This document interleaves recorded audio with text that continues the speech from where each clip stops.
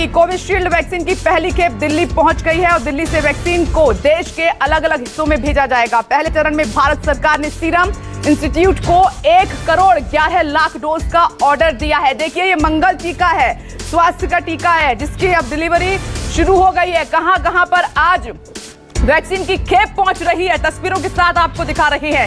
देखिए, दिल्ली से, देश की राजधानी दिल्ली से बड़ी खबर सामने निकल कर आई है कि दिल्ली में कोविशील्ड वैक्सीन की पहली खेप पहुँच चुकी है। राजधानी को प्राप्त हो चुकी है और अलग अलग राज्यों में फ्लाइटें जा रही हैं। जा रही हैं और थोड़ी देर में अलग अलग राज्यों में भी वहाँ पर वैक्सीन की खेप प्राप्त हो जाएगी। तो ये स्वास्थ्य का टीका है, बड़ा दिन है, जिसका देश, दुनिया बेसब्री से इंतज़ार कर रही थी। और आइए सीधे स्क्रीन पर नज़र डालिए। जगह जगह पर तमाम राज्यों में दिल्ली से लेकर हमारे न्यूज़ 24 संवाददाता मौजूद हैं। एक एक करके आपको जानकारी देंगे। सबसे पहले पल्लवी के पास आपको लिए चलते हैं, क्योंकि आपके पास ये संजीवनी पहुँच रही है। देखिए, पल्लवी, आपको टीवी स्क्रीन पर नज़र आ रही है। दीपक दुबे, मुंबई से आपको नज़र आ रहे हैं और इधर आप अन्य राज्यों से भी तमाम संवाददाताओं को आप देख रहे हैं। पुणे, सीरम इंस्टीट्यूट के बाहर दीपक दुबे मौजूद है, लेकिन सबसे पहले पल्लवी आपके पास आते हुए, क्योंकि सबसे पहले खेप देश की राजधानी दिल्ली पहुँची है, जिसका इंतज़ार किया जा रहा था। अब आगे किस तरीके से यह वैक्सीन दिल्ली के अलग अलग इलाकों में जाएगी? पल्लवी।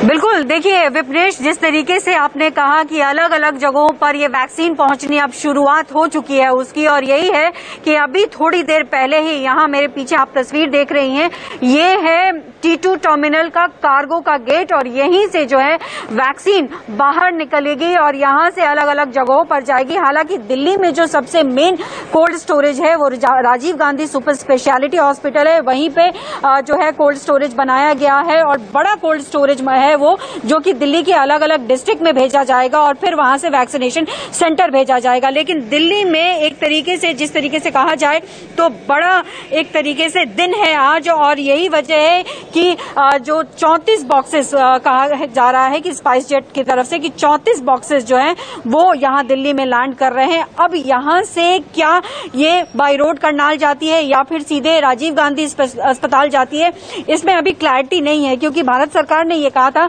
कि चार जीएमएसडी है यानी बड़े कोल्ड स्टोरेज जो है वो भारत सरकार के चार है।